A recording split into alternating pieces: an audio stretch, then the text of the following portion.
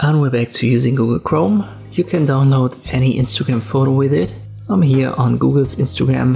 Let me just pick maybe this post right here. I'll open it in a new tab. Right click on it and then inspect. Your layout might be different. You can change it right here with these three dots. So maybe it's at the bottom for you. I'll put it to the right. Go to network.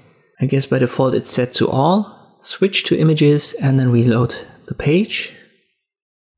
You can see all the images right here. Just find the one that you need. The blue one right here should be this one. Right click on it open a new tab. And now you can right click save image as. Let me just call this, I don't know, Google. It's a JPG. Let's save it. And you can see it's being downloaded now. And this is how you can save any image from Instagram using Google Chrome.